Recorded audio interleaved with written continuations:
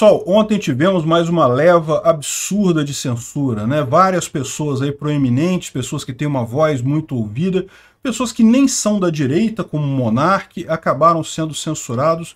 Eu não sei porquê. Alexandre de Moraes achou ruim e resolveu cancelar todo mundo. Um absurdo isso, completo, não tem justificativa para esse tipo de censura, que não é de hoje, é verdade, mas certamente agora, graças aos golpistas idiotas do dia 8, essa coisa vai ficar muito pior. Né? Agora o Alexandre de Moraes tem justificativa para fazer isso com muito mais vigor. Vocês podem ter certeza isso daqui é só o começo, ainda vem muita coisa por aí, tá? Essa notícia foi sugerida por Robocop Gay, Emo Bombado e várias outras pessoas. Obrigado aí ao pessoal que sugeriu a notícia. Obrigado a você que está assistindo o nosso vídeo. Se você gosta do nosso conteúdo, por favor, deixe o seu like e se inscreva aqui no canal, né?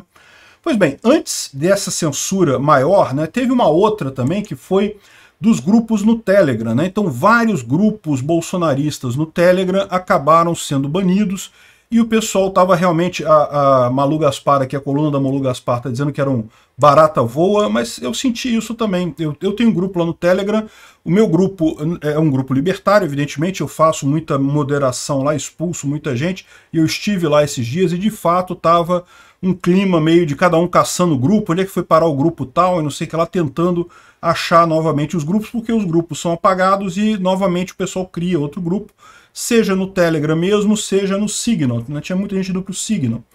E, uh, e aí, olha que curioso, né? A principal preocupação dela aqui, que ela viu lá no, nas, uh, no pessoal comentando, nos grupos bolsonaristas, é que o pessoal está com medo de infiltrado e esquerdista no grupo que possa levar à prisão de apoiadores de Bolsonaro. E esse daqui é o medo real, né?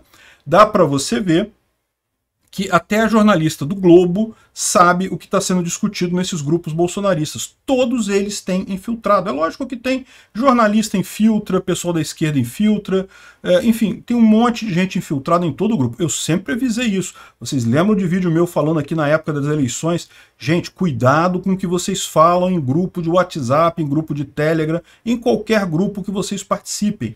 Lembra, tudo pode ser usado contra vocês. Tudo que tiver, foi escrito ali pode ser tirado de contexto, pode ser usado de forma indevida, então tem que tomar muito cuidado com o que você escreve lá.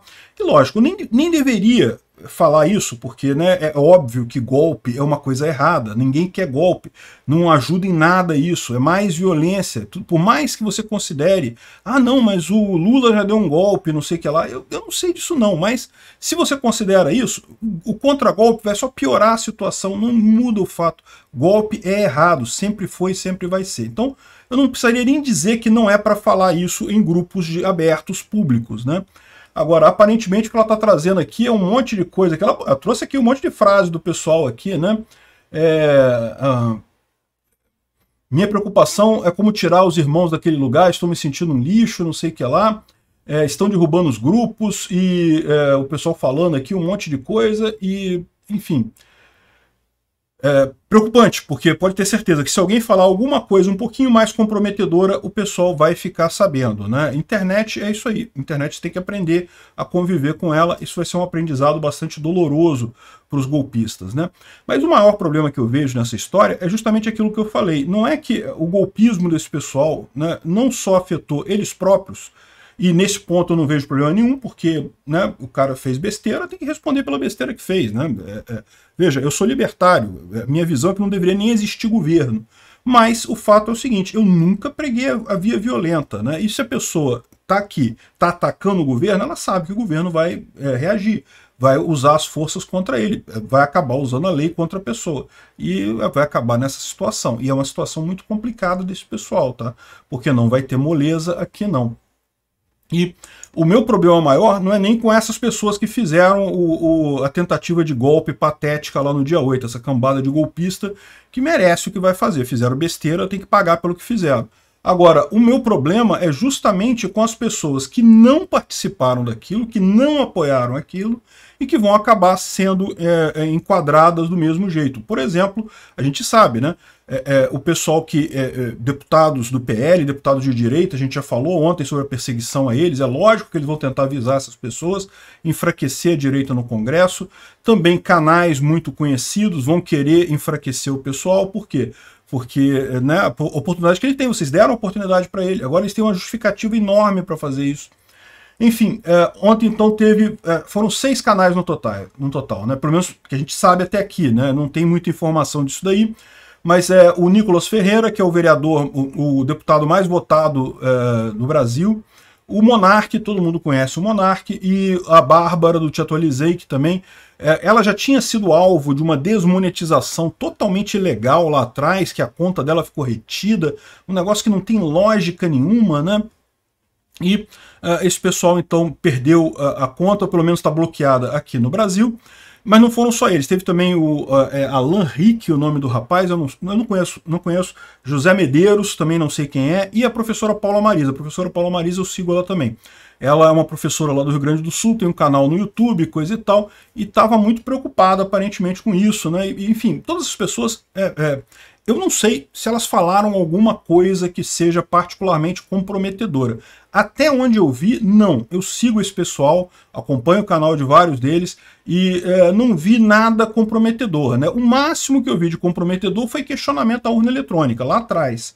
Mas isso é coisa lá de trás, não é coisa de agora. Então, assim, eu, eu não sei por que, que houve essa, é, essa censura agora do Alexandre. O que parece que está acontecendo é justamente aquilo que eu falei para vocês.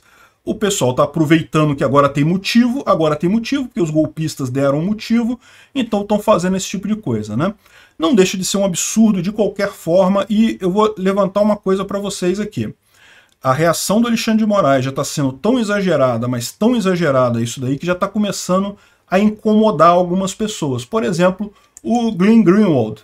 Vocês sabem, ele é um cara de esquerda, mas ele tem um princípio de liberdade de expressão muito mais forte que o pessoal. Aliás, a esquerda brasileira é muito burra, né, no final das contas, né, lutando contra a liberdade de expressão. Como se a esquerda não fosse o principal alvo desse tipo de problema. Como se é, é a esquerda não foi quem mais sofreu ao longo da história com isso. A esquerda fica lá, chorando, que não, que tem que censurar mesmo. Amigo, você está dando esse poder para a Suprema Corte, um monte de gente não eleita. Amanhã esse pessoal vai usar isso contra você fácil, qualquer coisa que eles queiram. Então, isso é um problema. Você vai ficar é, é, tratando política como se fosse jogo de futebol. Ah, você está no meu time? Não, está no outro time, então tomara que você se ferre mesmo. Isso é errado. E o Glenn Greenwald está mostrando isso de forma nítida para o pessoal. É errado o que o Alexandre de Moraes está fazendo. Mesmo que você não goste das pessoas que foram censuradas, mesmo que você não goste do que elas falam, que você não concorde com o que elas falam. Eu não concordo com tudo que esse pessoal aqui fala. Vocês sabem, eu com o Monark tenho algumas diferenças aí. O Monark anda uh, uh, defendendo muito a Rússia. Isso para mim é inevitável, a ponto que eu havia bloqueado ele há um tempo atrás. Defender Rússia, para mim, o tratamento é único, é bloqueio. Não quero contato com Russetti. Não importa se é robô, se é gente viva, não interessa. Defender Rússia, tá fora. É, mas eu até desfiz o bloqueio do Monark porque, é, no final das contas, eu estou solidário a ele nessa, nessa agressão que foi feita contra ele. Eu sempre deixei isso claro. Eu falei até nisso. Eu acho que as pessoas devem ter o direito de falar a favor da Rússia. Falar você pode. Eu, eu não quero ouvir. Eu quero, eu vou bloquear, eu não quero ouvir. Mas falar, você tem o direito de falar. Proibir a pessoa de falar de algum assunto é muito ruim. Mesmo que sejam assuntos como os que os golpistas estavam conversando. Isso é errado. Mas aquele, aquilo que eu falo para vocês. No momento que vocês provocaram o Estado, né, mesmo que você considere, ah, mas isso na ética libertária pode falar tudo. É, na ética libertária pode. Mas, gente, a gente está num mundo em que o Estado está aqui, e o Estado está morrendo de vontade de te dar uma cacetada. Se você dá um mole desse, pronto, estrategicamente é uma porcaria isso, né? E é por isso que eu vou falar e vou continuar chamando golpista de golpista até o final. Eu quero me separar desse pessoal. É muito burro esse povo. Esse povo é muito burro. E esse pessoal, pessoa burra, é passivo jurídico. Você pode se ferrar por conta disso. Então, uh, mas tudo isso não muda o fato de que o que o Alexandre de Moraes fez foi um exagero. E foi um exagero tão grande que está começando a ficar uma coisa até está uh, uh, começando a expor o quão grave é essa situação. Né?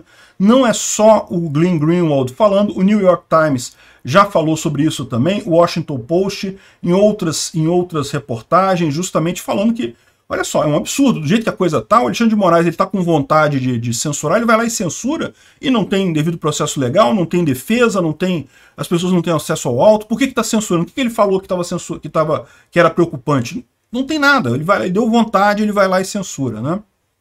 Isso é extremamente ruim. Isso não é caminho para resolver o problema do dia 8. Isso é caminho para agravar o problema do dia 8. Isso é, é um caminho para gerar mais radicais por aí.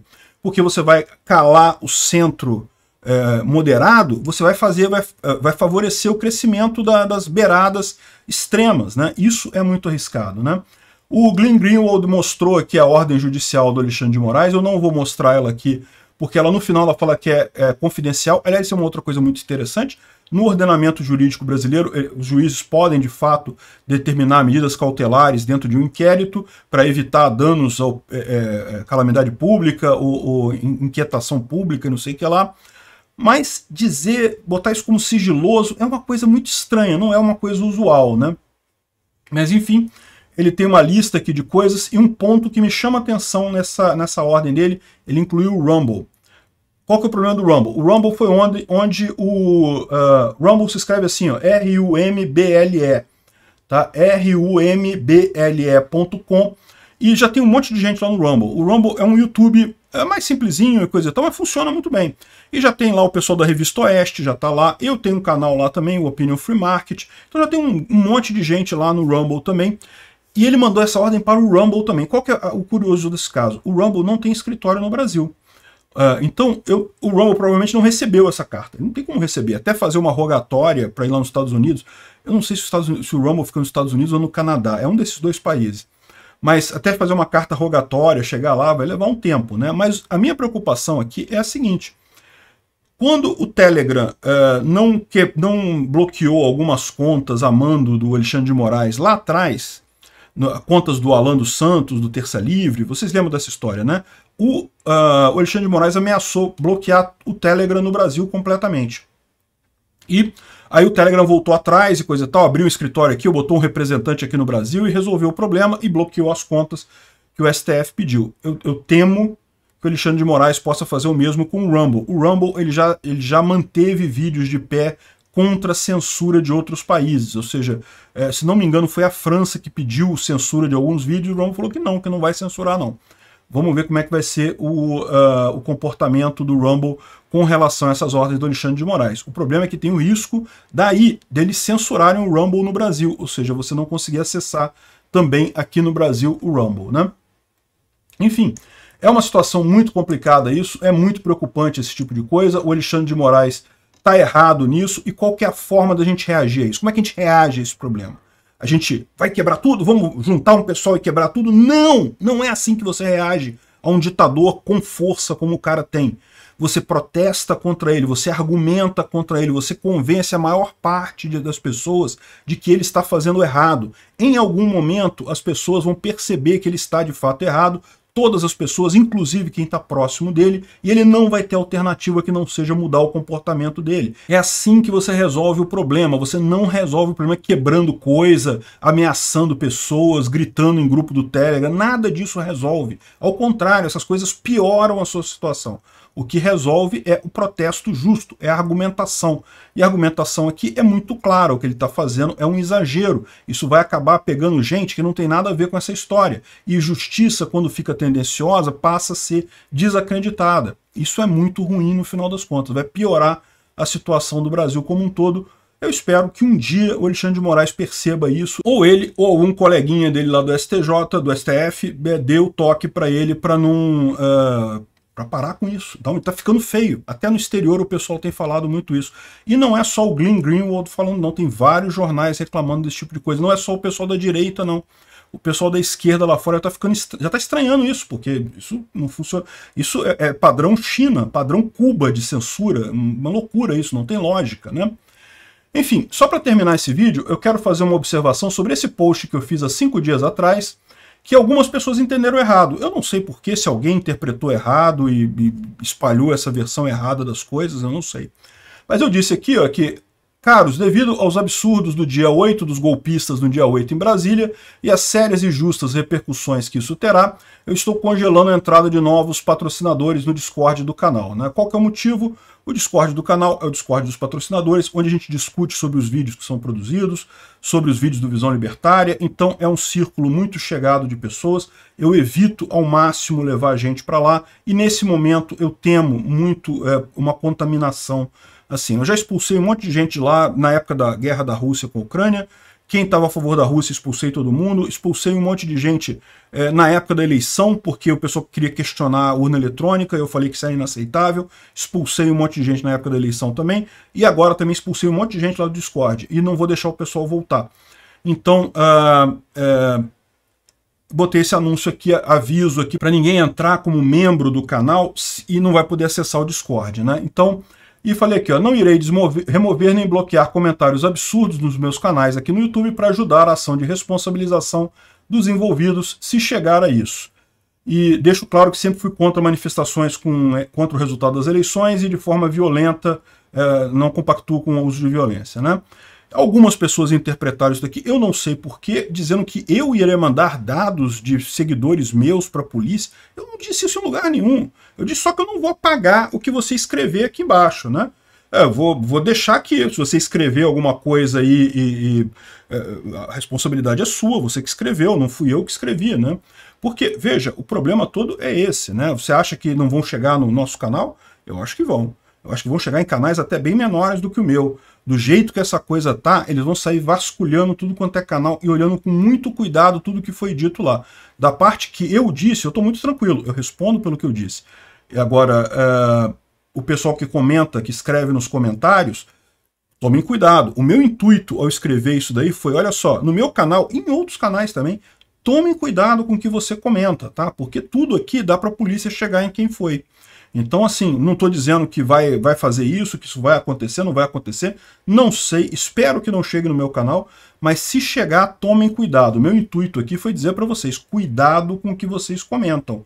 Eu não vou apagar, porque, aliás, se eu apagar agora fica até pior. Fica parecendo que eu estou querendo esconder alguma coisa de alguém, né? O pessoal, o pessoal ficou muito chateado aqui. Tem uma aqui que escreveu aqui, ó. Concordando com a censura e ações judiciárias e opiniões contrárias, olha, você é um melancia, não sei o que lá. Não, eu não disse que eu estou concordando, eu disse que isso vai acontecer. Concordando ou não, quer você queira ou não queira, isso vai acontecer. Esse é o meu alerta para vocês. Tomem cuidado. Obrigado por assistir o vídeo até o final. Além de curtir, compartilhar e se inscrever no canal, considere se tornar patrocinador com valores a partir de R$ 1,99 clique no botão Seja Membro abaixo para saber as condições e vantagens de patrocinar o canal. Mais informações sobre o nosso projeto, visite nossos sites indicados na tela.